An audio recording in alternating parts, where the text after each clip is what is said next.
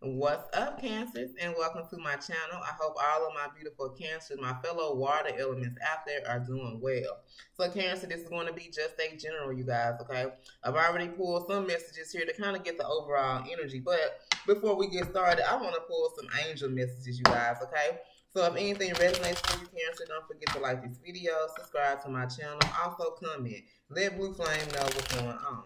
And if you're interested in a personal reading, you guys, my email will be in the description box below, okay? All right, so let's get an angel number for my Cancer spirit. What angel message do you have for my Cancers today? All right, Cancer, we have the number 23, okay? You are adventurous. You have a zest for life, and you are eager to experience anything and everything possible. You love change and excitement, and you need both in your life to truly feel alive. For you, life is like an adventure to be lived to the fullest, okay? So you are very adventurous. You have a zest for life, but you need excitement. You need a fun. You need a little bit of passion. You need a little bit of everything, you know, to make your life feel whole or feel complete, okay? All right, so you can be seeing the numbers 23, 222, or 333. Let's get one more angel number, then we're going to pull up the moonology before we get into this reading, guys, okay? We also have the number 31, okay? Cancer, you are very disciplined at this time, okay? Your approach to life is, is an effective mix of both practicality and imagination. Okay, so the way that you approach life, the way that you approach situations, you think about it. You're very practical. You're very logical, but you also do it. You know, you use your imagination. Like you try to maybe think outside of the box here. Okay, it says your mind is stirring with creative ideas, and you have the organizational skills to manifest them into life. Okay, so because you're organized, because you're practical, you have okay the ability to manifest anything that you want in your life, okay? So you can be seeing the numbers 23 or the numbers 31, okay? You are disciplined and you are adventurous. All right, so let's get into some moonology. Messages for my cancer. Let's see what messages Spirit has for you guys, and then we're going to go ahead and get into this reading. Messages for Cancer. Okay, we have confidence is your key to your success, okay, with this new moon in Leo. So I feel like, excuse me, guys, because you're very adventurous, because, because you're very disciplined, Ooh, excuse me, a lot of you guys could be feeling very confident in yourself. And because you're confident, this is what's going to usher in that success. This is what's going to help you be very successful because you're confident in yourself, okay? All right, one more message for my cancers. All right, messages for my cancer spirit. Then we have balanced spirituality and practicality, okay, with this full moon energy in Pisces. So there are some things, Cancer, you know, maybe you look at in a spiritual way, but Spirit is saying, you know, maybe not always look at things in a spiritual way, like balance being spiritual and balance being practical, okay? Make sure that those two scales are balanced. Make sure everything is not thought of in a spiritual way, and make sure everything is not thought of in a practical way. It's like you have balance. You partially think about it spiritually, and then you partially put some practicality into it as well, okay? All right, you guys. So let's go ahead and get into this energy, okay? So the cards that I pulled here from the Truth Oracle is I lost myself for a little while, okay? So Cancer, there could be someone in your energy, maybe when you were dealing with this person, this could have been in the past or this could be recently, okay? It was like maybe you put your all or you put all your energy, all your effort, all your time into this person. And it was like because you gave so much and you didn't get that back in return, it's like you kind of like lost yourself within this person. Y'all know how sometimes you give, give, give to someone and it's like you lose yourself, like you, lose your sense of self. You know what I'm saying? Because you're busy giving your whole self to someone else, okay? And this could be someone, Cancer, that either you can't stop thinking about or this person has been very heavily or you've been very heavily on this person's mind, okay? And someone here, Cancer, wants you to know, okay, that they love you. So let's pull some more from this Truth Oracle and we're going to see what happened between you and someone here, okay? So you could have lost yourself dealing with someone, or someone here is saying they lost themselves, maybe dealing with you or another situation. But this is someone who cannot think about, who cannot stop thinking about you. So we have I don't react when people mention you, okay? So Cancer, someone could be asking this person that you're dealing with, maybe someone from your past, like, you know, when last time you talked to Cancer, when last time you seen Cancer?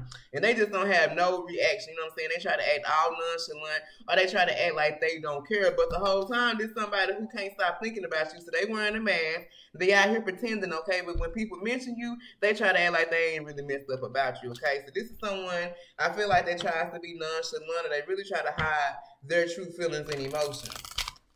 All right, messages for my cancers here. Then we have, I am grateful for the spiritual lesson. Okay, so some of you guys, you can be on a spiritual journey with someone because remember, you're supposed to balance spirituality and practicality. Okay, so this person that you can be dealing with, even though you might have lost yourself for a little while dealing with this person, you are grateful for whatever spiritual lessons that you learned dealing with this person, okay?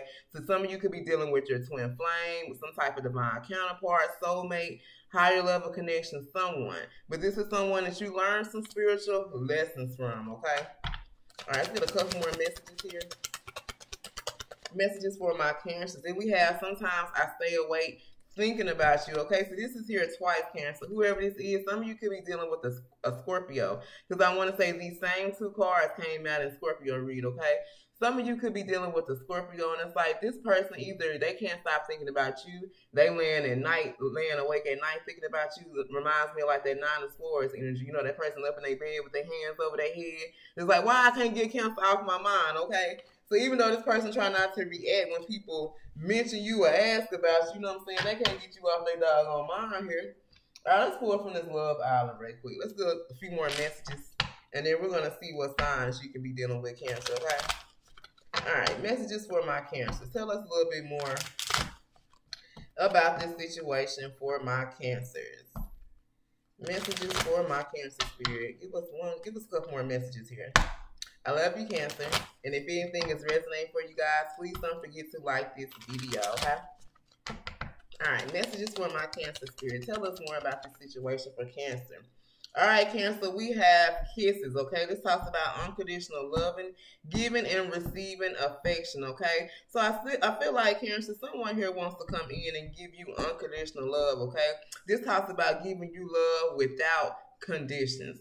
So in the past, Cancer, you could have could have been the type that it was like maybe you were used to receiving love, but the love that you always received, it was with conditions, okay? It's like you had to do this in order for someone to show you love and affection, or you always had to do something in order to get it back, okay? Now, this talks about someone that wants to come in and love you without those conditions, okay? You don't have to do shit for this person to still love you, okay? You don't have to buy them nothing. You don't have to do this. You don't have to do that. Like, they're going to love you regardless, okay? This is someone that wants to give you reciprocity. They want to give and receive affection, okay? And this could be someone, Cancer, that you could be falling in love with, okay?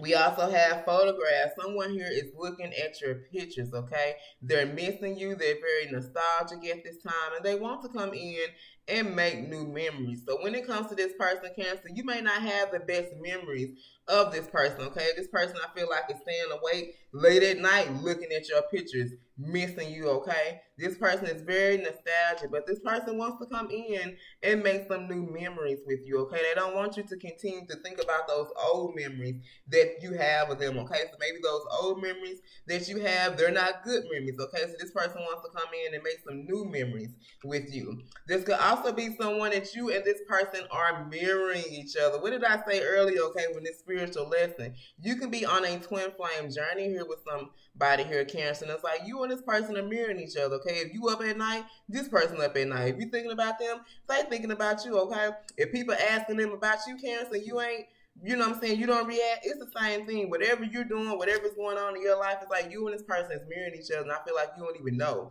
that you're mirroring each other at this time, okay? Both of you guys could be reflecting on your old old wounds. Okay, so some both of you guys could be reflecting back on your past.